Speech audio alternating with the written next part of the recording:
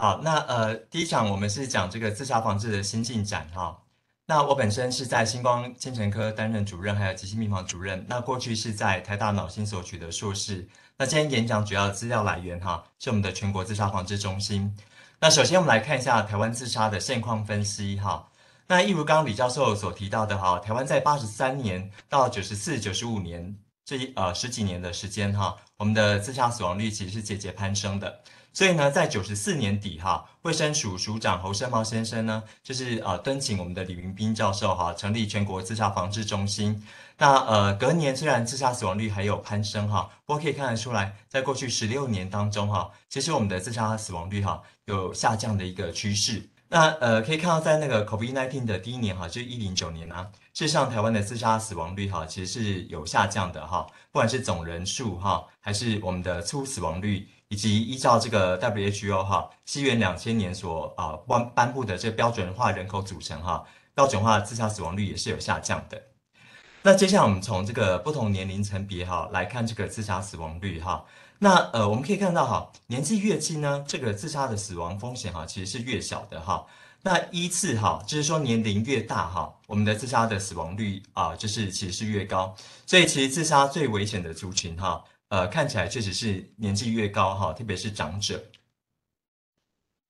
好，那这样的一个呃趋势哈，其实是跟世界的趋势是相一致的哈。那这个是呃 WHO 哈他们的统统一的这个数据，我们可以看得到哈，年纪越高哈，它本身就是自杀越危险的族群。相对来讲，就是年纪低呢，风险是比较小的。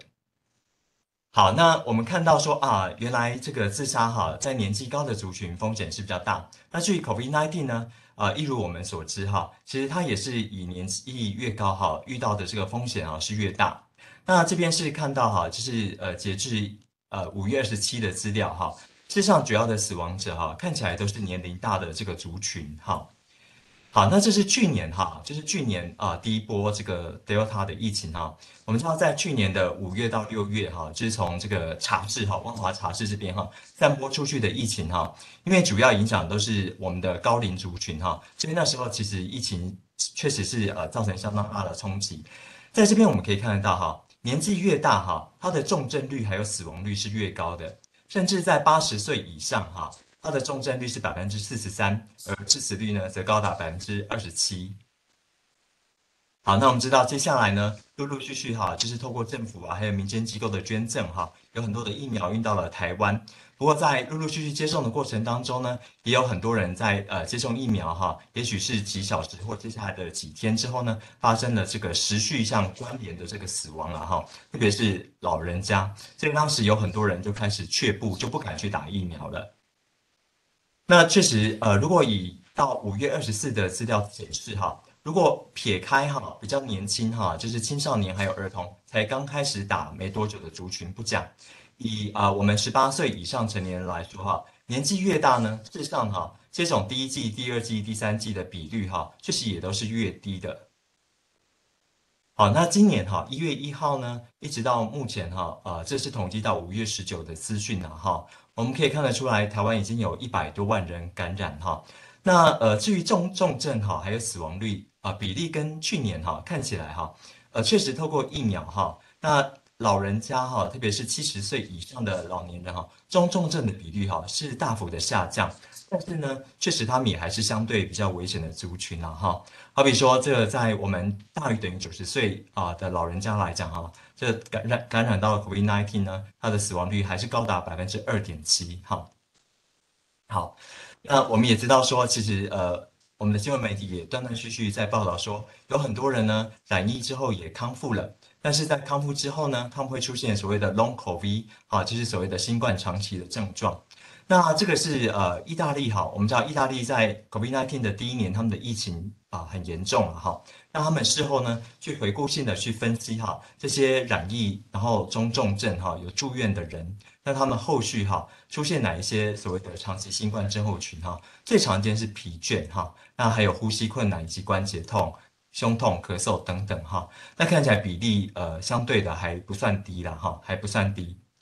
所以在这样的一个状况之下哈，我们知道有很多人他染疫哈，他很可能就会想说，哎呀，我年纪大哈，又染疫了。那以后很可能会有很多的所谓的后遗症哈，就是这种新冠的长期症候群。于是就通过报章媒体杂志的这个宣啊，也许啊，就是报道哈，那很多人就因此呢，衍生一些不太理想的一个状况。好比说哈，在去年五六月那时候呢，我们知道万华是这波那波疫情相对比较严重的哈。那那时候呢，呃，这边新闻就有报道提到哈，有一位摊商，他呢在染疫之后哈，哎，五月中旬去医院哈，CT 值高达三十六点多哈，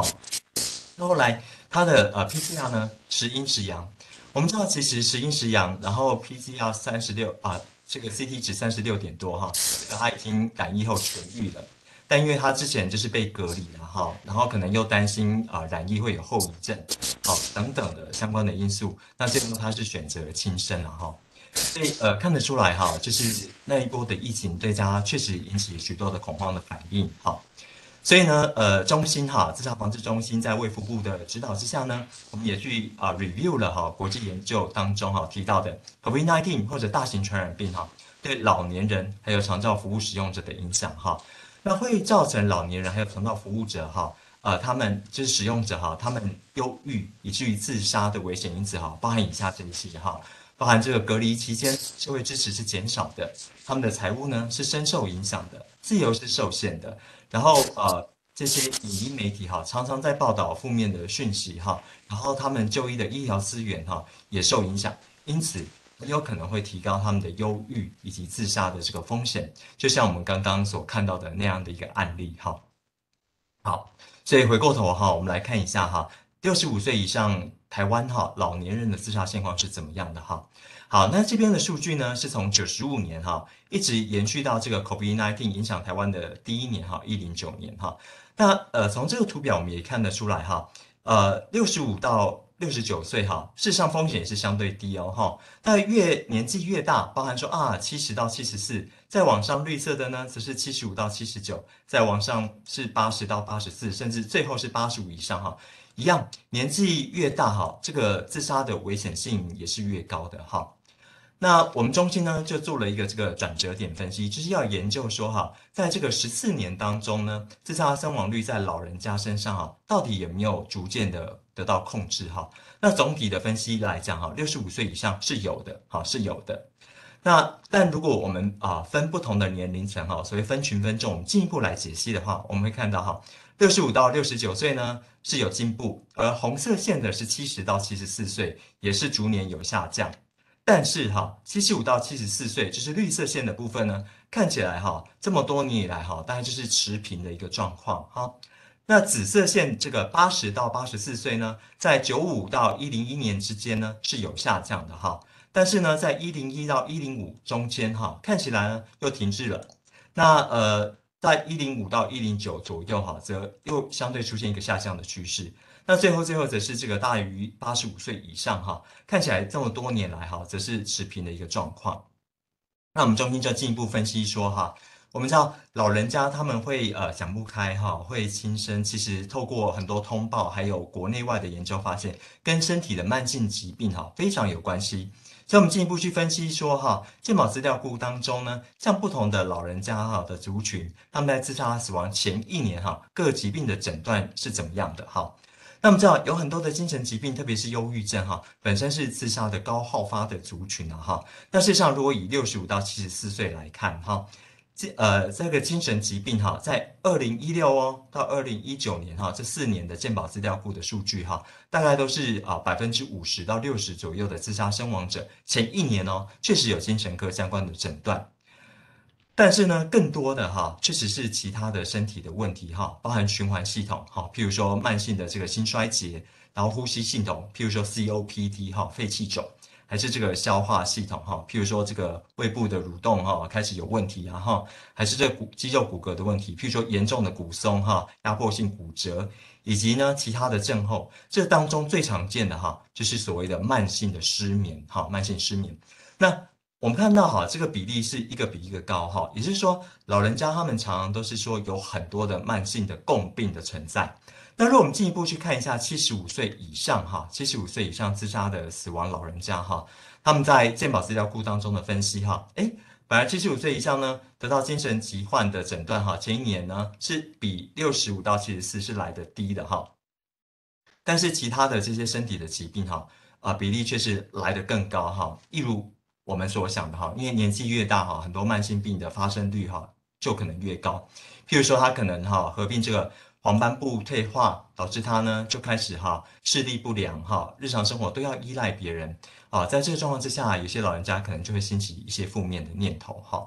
那什么原因慢性病会造成这个状况哈？那呃这个是 Biological Psychiatry 哈。在精神科两百六十本的期刊当中，哈，大概排名第七左右，哈，引用率，哈，影响力非常高的一个期刊当中，哈，它其实就告诉我们，如果一个人，哈，终其一生呢，哈，只有族群，哈，他的得到忧郁的机会是百分之十，那谁，哈，谁会比这百分之十更高，哈？哎，很多的身体疾病都会哦，包含说啊，有慢性心脏病哈，他医生呢得到这个忧郁症的机会是百分之十七到二七。那如果他有阿兹海默症哈，是百分之三十到五十。那至于巴金森氏症呢，哈，刚开始的阶段或许机会还不到不不太高哈，百分之四。到后来疾病严重度上升，甚至可以高达百分之七十五哈。那至于癫痫呢，控制不好的哈，也高达五成五哈。那底下也可以看到哈，慢性疼痛，我们知道有很多老人家因为骨头退化哈，骨松有慢性疼痛，他们得到忧郁症的机会是一般族群的三倍到五倍左右哈。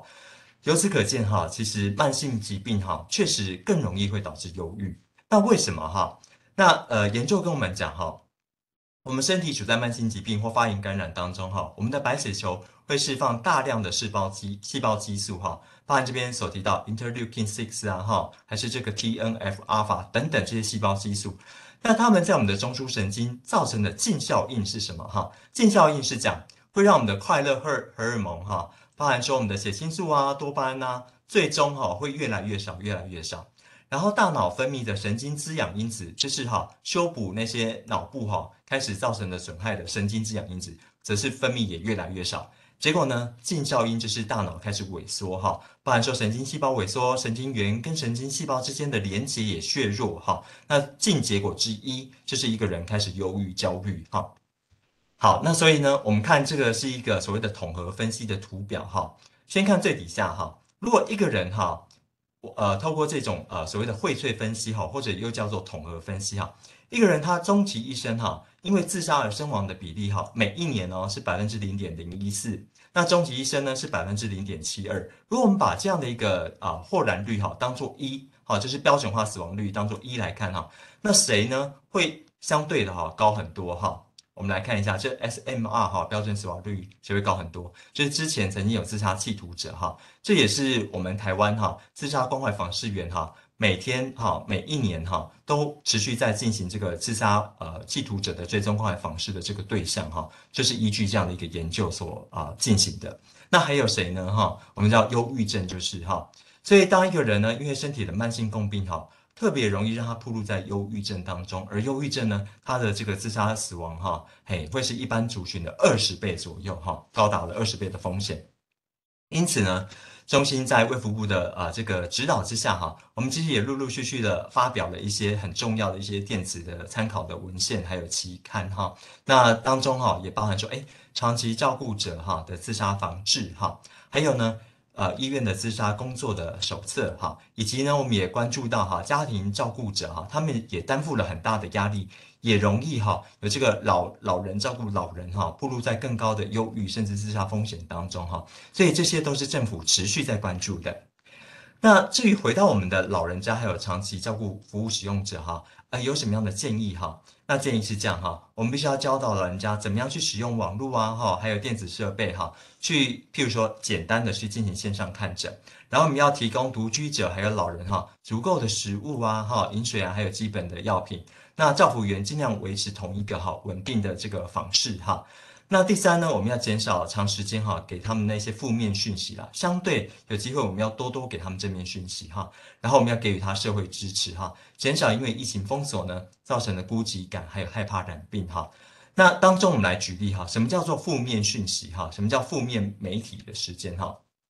好比说哈，在四月的时候哈，我们的新闻台哈有一台哦收视率甚高的新闻台啊，它就有这个新闻，它花了十分钟哈做了一个专题报道，报道什么呢？报道说，哈，国外研究指出，轻症后遗症比重症更剧烈哈。这个在逻辑上想哈，好像就不合理嘛，对不对？但是他很认真的哈，花了十分钟的时间在做报道。但是哈，后来呢，有一些有良知的媒体哈，他就在哎，透过专家哈去解读他引用的文献，结果发现说哈，根本哈他就是。误误解读了哈，根本就是错误的哈。他所引用的哈，其实是大陆的一篇研究。那呃，这个一一些有良知的媒体哈，他就请国卫院哈这个专任的这个主任医师级的这个研究员哈，去对针对这个他引用的文章去做解读，结果发现哈，根本就没有提到说轻症后遗症比重症更剧烈哈。但是我们知道哈，其实虽然现在哈大家不看报纸，但是大家是常常在看电视的。我们的电视媒体呢，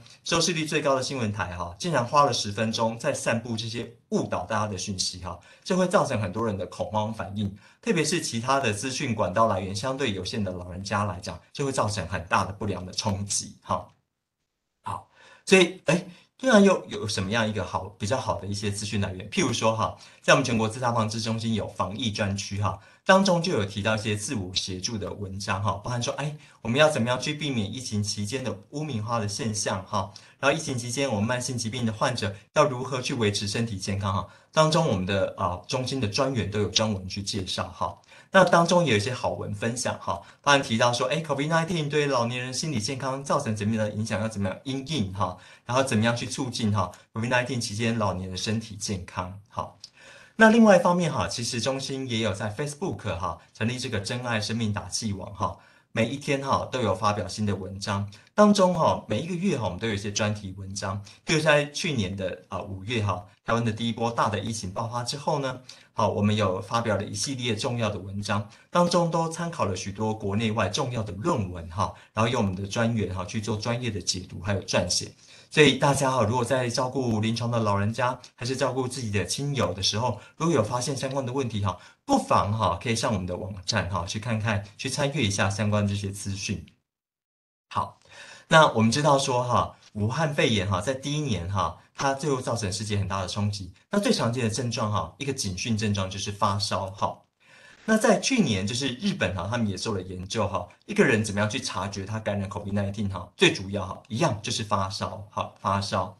那发烧哈，我们赶快要去做筛检，对不对哈？那相对来讲，如果一个人情绪有变化，我们要怎么样去量测呢？哈，那在这边就要跟大家介绍一个心情温度计哈。那心情温度计呢？它是李明斌教授哈在台大服务的期间哈，协同那边的同仁所研发出来的。它是一个方便、简单易用的一个工具。主要的问的问的问题哈很简单，就是问说，在最近一个星期当中，包含今天呐哈，以下这五个问题哈，完全没有是零分，好到轻轻的啊，就是轻度啊，还是非常厉害哈，依序从一分到四分哈。那这五个问题包含说，哎，会不会有睡眠障碍哈？第二，会不会紧张不安？第三会不会容易动怒？第四会不会感觉忧郁？第五会不会觉得比不上别人？如果这五分的加总哈分数达到十五分，甚至更高哈，那务必务必务必建议大家哈就要请亲友哈赶快哈去寻求精神医疗的咨询。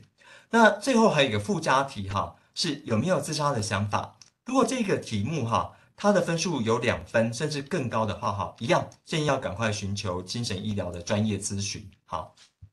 好，那没有纸本怎么办哈？大家现在手边呢都有方便使用的智慧型手手机哈，可以赶快扫描一下这个 QR code 哈。那当中哈，这是一个免费的软体哈，当中就可以看到这个心情温度计哈，帮我们量测我们最近会不会有这些睡眠障碍啊，还是心情容易忧郁、焦虑啊、动怒的状况哈？它可以帮助我们定期检测心情。那它当中也会留留下哈我们过去几次哈测验的记录，帮助我们定期 review 哈。那另外，刚刚我们看到中心所出版的电子书哈，当中也可以直接哈看到这些相关的 PDF 档。那最后则是哈，当中也很贴心的哈，有针对我们所处的位置哈，去列出这个心理卫生的相关的资源哈，包含诊所啊、各级医疗院所啊，还是身心精神科，通通上面都找得到哈。所以强烈建议哈，大家要下载这样的一个好用的心情温度计。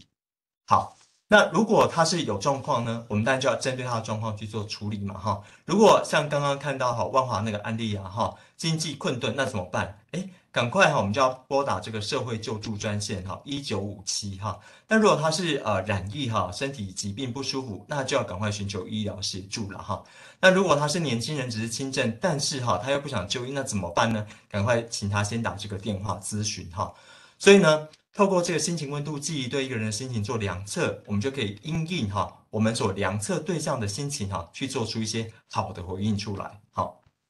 好，那这是我们刚刚看到的一个图哈。年纪越高，我们知道哈自杀风险越高。那庆幸的是，在过去的这十六年当中哈，透过全国自杀防治中心还有全民的努力哈，老人家的自杀死亡率其实慢慢慢慢也在下降当中。但是哈，但是我们却看到哈，我们的年轻族群哈，在过去三年左右哈，自杀的死亡率似乎却有哈逐步上升的趋势哈。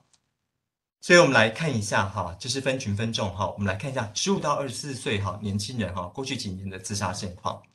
那自杀死亡哈是一回事，另外哈有更多的这些年轻族群哈，他们有自杀的企图哈，就是他们有行为哈，那后来可能是有就医或者在学校就被通报哈。那可以看得出来哈，在十五到二十四岁这样的一个啊年龄族群哈，在过去的三四年当中哈，自杀通报的数目字哈节节上升哈，节节上升哈，呃，像仿佛坐了火箭一样。那在我们小于等于十四岁的族群当中哈，一样在过去的三四年当中哈，也是节节攀升。于是我们就在想，奇怪，哎，就算我们的教改哈，或许还有一些有待在进一步哈啊强化的地方。但是有什么道理？过去三四年当中，我们的年轻族群却很容易去产生一些自我伤害，甚至自杀的举动、自杀的企图呢？哈，我们就尝试从多个面向去进行分析。哈，好，首先呢，我们来参考一下国外的文献。哈，那呃，好比在这个 Drama 的 Psychiatry 哈，这是精神科两百六十本的文献当中哈，排名第三左右哈，引用率也是非常高哈。二零二零年他们公布了一个研究哈，他们发现哈。在美国哈也观察到一个现象，就是从二零一一年开始哈，美国的十到十九岁的青少年自杀死亡率哈也是很显著的哈，有这个上升的趋势。那在其他的年龄族群当中哈，其实是看不到这样一个很明显的上升趋势的哈。那于是专家就在想，也在探究说，到底是为什么哈？到底是为什么？那陆陆续续当然有一些论文的发表哈。但是其中哈有一些学者，他们就认为哈，社群网络的使用的发达哈，很可能扮演其中一个角色。好比说哈，Instagram 哈这样的一个社群软体哈，很可能就有影响。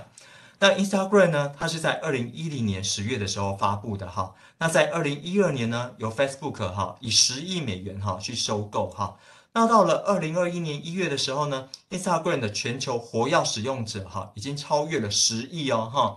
地球人口的七分之一哦，都是活药的使用者。好，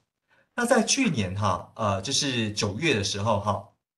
陆陆续续哈，有一些一样哈，就是我们的新闻媒体哈，开始呃进行一些呃相关的资讯的公布哈，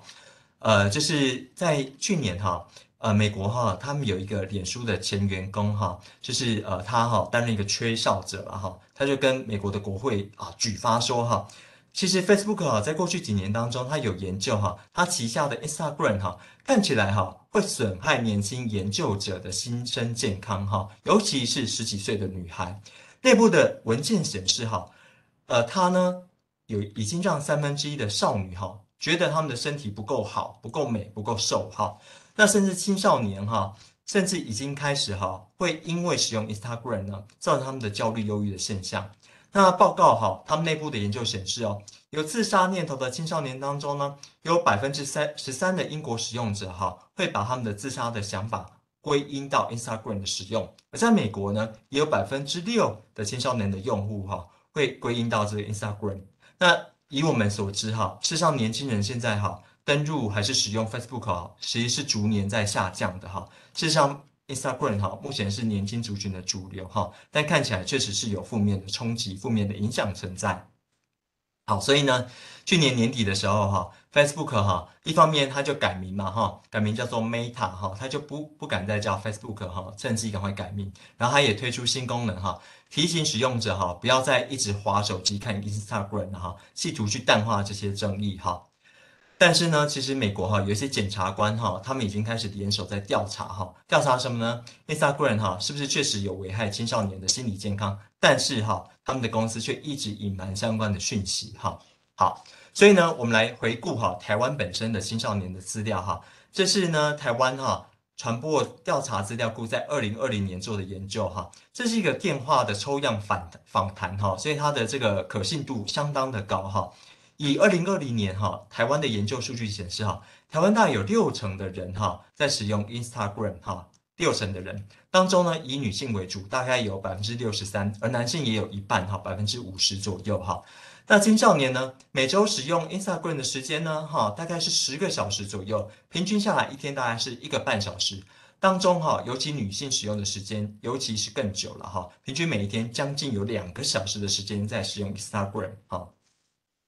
当他们进一步研究的访谈，哈，有针对这 Instagram 的使用，还有呃使用者的幸福度来做分析，哈。那呃每天使用少于十分钟，它是把它归类在轻度使用者；使用十到十三十八分钟呢，归归因在中度使用者，哈。那三十八分钟到两小时呢，归在高度使用者；两小时以上则是重度使用者，哈。那研究发现，哈，随着使用的这个程度越重的人，哈，他们呢确实哈对自己的生活满意度。课业满意度、社交满意度，还是对自己的满意度，哈，都是依次的下降的，哈，依次的下降。那相对哈，刚刚是主观的感受，如果去回顾他们客观的研究，哈，显示的这个课业表现怎么样，确实也呈现一个下降的一个趋势了，哈。所以看起来哈，这个相关分析哈，所以相关分析就是说不敢讲，就是因果哈，不是说啊你一定就是 Instagram 用太多才这样哈，很可能他就是开始忧郁焦虑才一直用 Instagram，然后相对表现在生活各个面向就是呈现不好的状况嘛哈，在这个所谓的啊相关分析当中哈，Instagram 确实哈跟一个青少年哈相关的这些生活面向的不良表现是很有关的哈，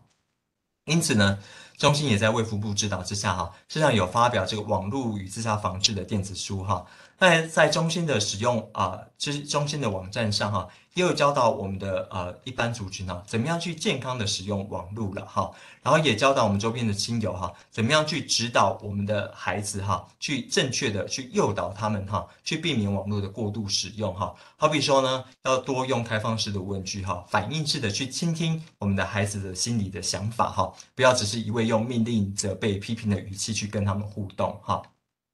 好，那只有这些社群盲媒体有影响吗？哈？呃，其实不然哈，我们也知道，其实，在过去几年哈，影媒体哈相当的发达。那在二零二零年这个资料库调查研究哈，也针对青少年去研究他们追剧的这个时间哈。那如果我们只看青少年哈，只看青少年来看哈，那台湾的青少年大概有百分之七十七哦哈，百分之七十七每个礼拜呢，大概会看三点五天的电视哈，当中国中比较多，高中少一点点哈，但大概还有三点五天。那会花多少时间呢？每天大概是一个半小时，哈，每天大概是一个半小时。那呃，这些青少年看的剧，哈，大概是什么呢？哈，最多的哈还是台湾偶像剧，哈。那高中是这样，哈，国中也是这样。那第二多的呢是韩剧，哈。那再来则是大陆连续剧、台湾乡土剧、日剧，还有欧美影集，哈。那这个蓝色框框，哈，是代表说，哈，高中显著高，呃，就是低于国中，哈。对，高于国中哈，就是比较多的高中的学子哈，他们会在看欧美影集或者看一些动漫等等。好，好，那为什么他们要看呢？哈，比较多的这个高中生哈，他们觉得诶可以让人放松，但是国中生也高达百分之五十九点七哈，然后还有人是觉得啊可以打发时间，还有看节目很享受哈。那唯一国中生比高中生比例高一点的是什么呢？啊，是这个家人在看哈，所以跟着看哈，大概是这样啊哈。然后呢，事实上也有很多青少年会觉得，哎，从当中可以了解人际互动的一些关系哈，到底要怎么样去啊演进去推推演嘛哈。好，那另外他也研究说哈。哎，这些国高中的青少年呢，会不会觉得自己已经看到有点网络成瘾哈？那看起来哈，大概是有呃三成五的人哈，就是觉得说，哎，好像自己追剧的状况哈，似乎哈有一点点偏向哈，有一点要成瘾要成瘾的这个状况。好比说，哎，看网络的这些戏剧的时间会超过预期哈，然后一看节目呢就会停不下来。好。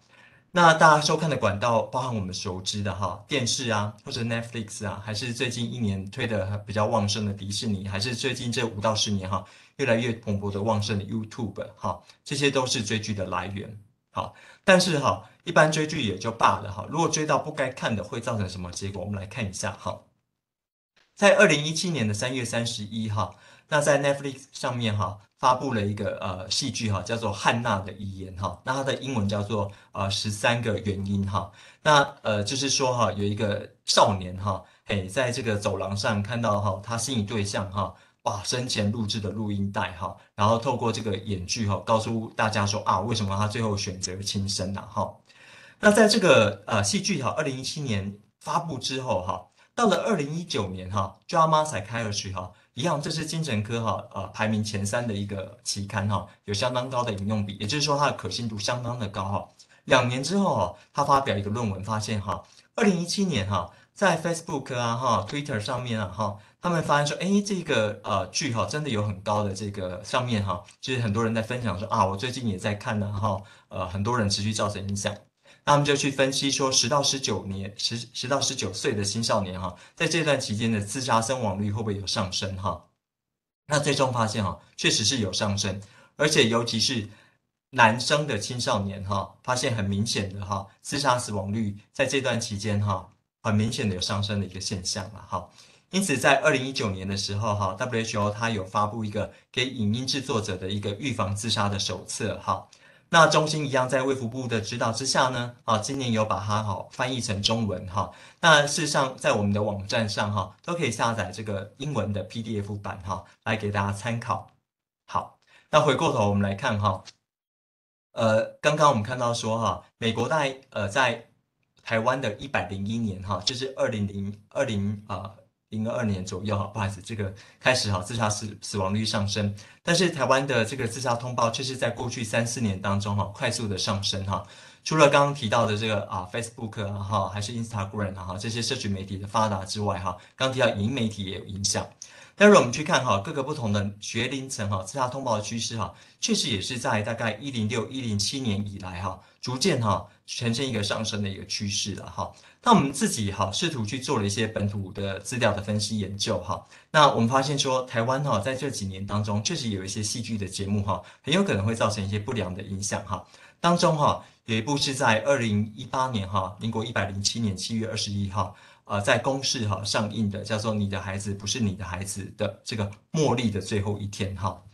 那呃，这是我们中心的专员所呃罗列的这个资料的分析哈，可以看得出来哈。呃，在呃公示哈，礼拜六晚上这个黄金时段哈，这样的一系列的影集哈，呃，这个茉莉的最后一天哈，有关这个自杀的这一部影集哈，事实上有最高的一个收视率哈，当时的收视率是零点八三哈，意味着台湾大概有二十万的人哈，同时在收看它的初步的发布哈。那后来呢？事实上，在 Netflix 上面哈，也可以很自由的就看得到哈，甚至在一些非正规平台也可以轻松的去搜寻到哈，这些啊所谓的没有版权的这些影集可以收看哈。好，那这是公就是哈，他们自己公布哈这个呃收视率哈，可以看到你的孩子不是你的孩子哈，在呃二零一八年七月的时候哈，创了一小波的这个收视率的这个高点了哈。那当时呃。总收视率大概是零点六九，但是一如我们刚刚所看到的哈，呃，茉莉的最后一天甚至达到零点八三，好，相对又来的更高哈。那但呃有一些有名的，譬如说麻醉风暴哈，当时哈在之前甚至创哈一点三五折更高的收视率哈。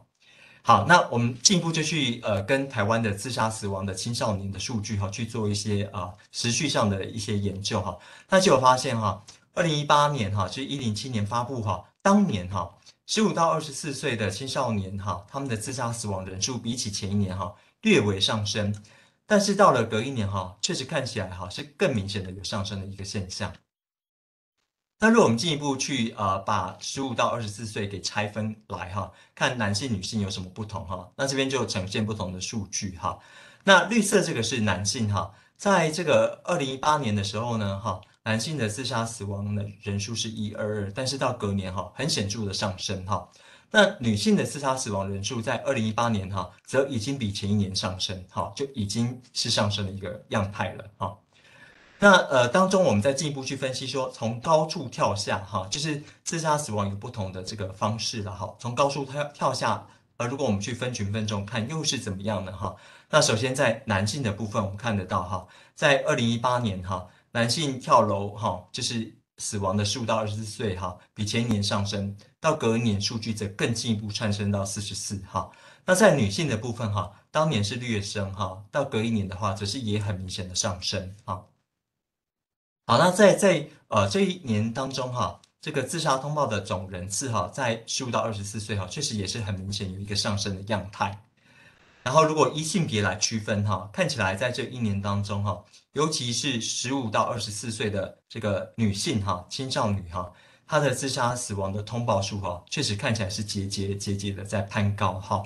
那如果我们进一步去看哈，以高处跳下哈，再加上性别啊这样的一个分析哈，看起来确实哈，以女性哈用高处跳下的通报哈，就是呃最后可能没有死亡哈，就是通报哈，也确实有这个上升的样态。好，那如果我们看哈，因为这剧中当中也牵涉到割腕的情节哈，诶，在这个十五到二十岁的女性哈，也是节节的在攀升。那如果我们去看哈。就是他们被通报的时候呢，勾选他们到底什么原因去自杀哈？家庭成员因因素哈，在十五到二十岁青少年当中也是节节在攀升哈。那人际关系因素呢，在这个年龄族群哈，也是节节在攀升哈。那事实上哈，中心每一年的七月呢，都会做啊这个电话的抽样调查哈，针对台湾哈两千三百万人哈，委托这个很有信誉的电话访谈公司去做这个电话调查。那其中有一个 BSRS Five 哈，就是刚刚看到的心情温度计哈，当中大于等于六，就是我们认为哈已经有状况的人哈，看起来哈，台湾在这过去几年来哈，整体来说哈，所有的台湾人的啊分数大概都还算平均哈，落在这个区间，在一零八年哈很明显上升。有可能他是台湾总统大选的前一年哈，所以那一年风风雨雨比较多哈。但一零九年哈，总统才正式一月投票哈，哎，看起来好像就回稳了哈。但是我们可以看到，在十五到二十四岁这个族群哈，嘿，一零八年的时候，它不仅攀升，而且攀升的更高。事实上，在二零一八年，也就是刚看到哈，茉莉的最后一天发布的当年哈。事实上，它是啊，这个 BSRS Five 哈大于等于六分哈，就已经相对比所有族群来的攀升哈，就已经来的攀升。好，那呃，因为后续还继续升高哈，甚至我们刚刚看到呃，自杀死亡哈，通报啊，还是死亡人数哈，看起来还有上升的趋势。好，单一片单一部影片影响那么大吗？事实上哈，我们知道不是单一部影片，好比说隔了一年哈。呃，电影哈有出了一个叫《返校》哈，在二零一九年的九月公布哈，当中哈其实它也牵涉到自杀的情节哈。那女主角在这个影片哈一个多小时的时候选择哈用上吊的方式结束生命哈。那这部影片哈最终哈全台的票房高达二点六亿哈，甚至有两周哈是台北的周末票房冠军了哈。二点六亿哈意味台湾大概有。一百万人哈，一百万人哦，花钱到戏院里去看这部片子哈。好，那到了二零二零年哈，公视哦哈，在我们礼拜六晚上九点的黄金时段呢，又呃发布了这个影集版的《返校》哈。那当中哈，呃有好几集哈是牵涉到自杀的情节哈，包含这个第一集、第四集、第五集还有第七、第八集哈，那收视率都不差哈。受众的影响也颇大。那我们知道哈，哎，有的人他不看第一开始上映哈，但是他会到 Netflix 去看哈。那这后续的效应哈，还是会有的哈，还是会有的。好，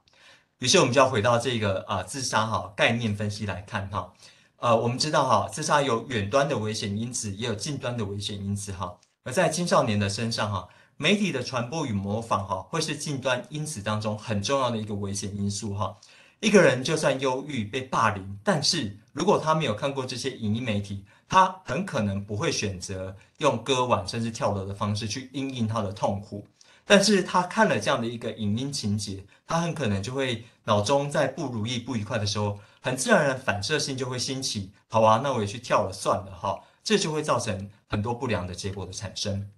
那相对我们来看一些远端因子哈。青少年又有哪些远端因子，很可能会造成他们会想不开，甚至去做自杀的这个举动呢？哈，好，我们以比较近的资料来看哈，一零九年哈，学龄层哈通报个案自杀原因的占率是怎么样哈？国小、国中、高中、大学哈，情感人际因素哈都是非常非常重要的因子哈。这包含什么？包含家庭成员的互动，也包含感情上的互动哈。也另外还有影响就是精神健康哈。我们可以看到哈，特别在高中还有大学的阶段哈，这样的影响比例啊就是节节攀高哈。那校园学生问题呢，只是在国小还有国中学龄层哈，占的比重也相当的高哈。好，这个就是可能是远程一点的原因呐哈。好，那刚刚是我们在自杀通报勾选的原因。如果我们进一步去看哈，呃，学龄层通报当中有特殊身份的占率哈，特殊身份它意味什么？意味哈，它已经有政府哈。有在介入了，也就是说它的可信度更高，不是我随随便便问两句话就决定哈它是什么原因哈。那看得到哈，高中到大学阶段哈，经教列管个案哈来的比例哈明显的攀高哈。那相对来讲哈，家暴的被害人哈或者儿少被害人哈，他们总体比例在各这个族群的各个阶段，大概都高达百分之十二左右，好百分之十二左右。甚至若我们进一步看哈。自杀系图最不良的结果就是自杀身亡哈，在一零九年自杀啊死亡个案生前哈，曾经有些啊特殊身份哈，家暴受害人哦哈，就他今天可能是被打哈，嘿，结果呢最后有高达百分之九点三的人哈，最终是自杀身亡。那家暴的相对人哈，也有高达百分之十左右哈，是自杀身亡哈。好，那刚刚我们看完这边哈，我们就要知道哈，青少年的族群哈。影音媒体啊，哈，Facebook 啊，还是这个家庭关系哈，感情关系影响都很大哈，都很大。那相对来讲，我们来看一下哈，精神疾病又是怎么样会影响他们哈？这是我们刚刚看过一个荟萃分析或者统合分析的图表哈。那我们稍微哈，很轻松的来看哈，刚刚有提到一个人一辈子自杀，如果把它当做一哈，当做风险比当做一，有谁比他更高哈？过去有自杀系图者哈，这个风险比哈高达百分之三十二。三十八倍哈，那如果是重郁症哈，高达二十倍。那有饮食障碍哈，我们知道有些青少年哈，他觉得对身材不满意，他会厌食暴食哈，然后再催吐。那这个风险比哈，其实呢比忧郁症来的更高，高达多少？二十三倍哦哈。那如果他有镇定剂、安眠药滥用啊，这个风险呃标准化的死亡风险哈，高达二十倍哈。那如果他是呃混合性的药物滥用哈，则是十九倍。躁郁症呢是十五倍哈。那如果是呃所谓吗啡类的药物滥用是十四倍，那得赛米啊过去翻译叫轻郁症是十二倍哈，那强迫症是十一倍，恐慌症是十倍哈，那绿色是稍微哈倍率低一点的哈，视觉失调八倍，哦人格障碍是七倍，酒精滥用五倍哈，那任何啊这个儿儿青哈儿童青少年的精神科的疾病哈是四倍。那大麻的滥用是三点八倍哈，那一个人如果是有精神官能症哈，比如啊到处痛啊哈，有点焦虑啊哈，大概是三点七倍。好，那接下来我们来看，呃，最后哈五张的投影片，我们来简单看哈。那这代呃代表什么哈？又有什么隐含的意义哈？我们看另外一个很重要的文献哈，它是在发布在这个 Molecular Psychiatry 上哈，它是精神科两百六十本哈，所谓国际哈通呃就是期刊当中排名第三哈。在今年的一月，他发布哈，就是根据一百九十二篇哈，所有精神疾病哈流行病学调查，他把它做一个统合分析哈。他们想要看哈各种不同精神疾病，它是在几岁是它发病的中位数哈。那我们刚刚知道哈，有饮食疾患的青少女哈，他们是自杀高风险群啊，自杀的身亡率是一般随便抽样调查的人的二十三倍啊哈。那他们高发发年龄是什么？哈，是十五点五岁，好，十五点五岁。那这边也看可以看得到哈，强迫症呢，哈，它发病中位数哈是十四点五岁，好。那这边是焦虑症哈，焦虑症的发病的呃这个高峰哈，一个是五点五岁哈，哎，这是分离焦虑等等哈。另外就是十五点五岁，好，好。另外我们耳熟能详的视觉失调症，它发病的中位数是几岁呢？是二十点五岁。那情绪障碍呢，包含我们刚看到的忧郁症啊，哈，还有双极疾患，就是呃躁郁症呢，也是二十点五岁，好，所以统合哈，把所有的加总在一起哈，哎，所有精神疾病哈，它的发病中位数是多少？是十四点五岁，哈，大概什么时间？国三、高一，大概就是这个阶段，哈。所以为什么在高中还有大学的时候，会有越来越多人有所谓的特殊身份比当中的精神啊这个呃列管了哈，就是因为哈，其实青少年阶段确实也就是这个高好发的风险年龄了哈，所以我们这时候如果哈在学校的教材当中，或者对父母有更好的这个卫教，那大家就会意识到说，哎，有这样相关的状况，就要赶紧的去就医，哈，赶紧去就医。好，最后最后哈，呃，以下是今天的关键讯息哈。第一年的这个 COVID-19 疫情期间，台湾的自杀率是下降的，但是老年人的自杀死亡率哈。接下来我们还是要持续关注哈。那第二，媒体报道的方向哈，对敏感脆弱族群哈，其实哈扮演着相当重要的一个角色哈。那第三，社区媒体还有影视剧对于青少年人、年轻成人的精神健康啊，还有他们的压力、阴影行为的影响哈，还是要持续的密切观察哈。然后最后则是哈，常见的精神疾病哈，好发哈，他们的中位数哈发。这个发病中位数就是青少年还有年轻成人哈，连同家暴，他们都是自杀的重要危险因子哈。所以自杀防治哈，我们共同都要关心。以上是今天第一场的报告，谢谢大家。